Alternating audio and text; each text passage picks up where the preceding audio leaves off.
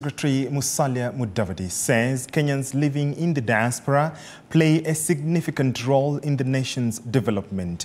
Mudavadi, who is in Japan for an official visit, said the government acknowledges their importance and is currently in the process of reviewing policies to better support them.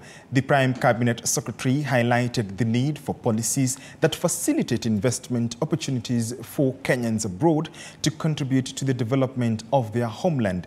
Additionally, he has urged Kenyans living in the diaspora to serve as exemplary ambassadors for Kenya, promoting its interests and values wherever they reside.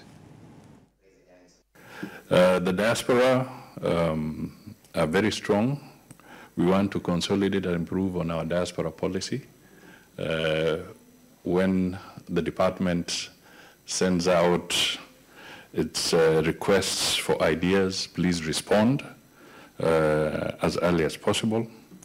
And we also need to acknowledge that uh, in Japan, we've had strong relationship, and some of you, uh, not all, but a good number of you may have come here on JICA scholarships. Uh, and uh, we are therefore very appreciative to the government of Japan on that score. And our mission here, led by His Excellency the President, is really to consolidate that partnership.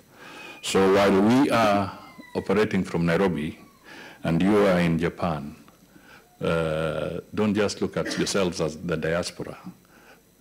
Take it that you're patriotic Kenyans and you're ambassadors of Kenya and ambassadors of the President of Kenya.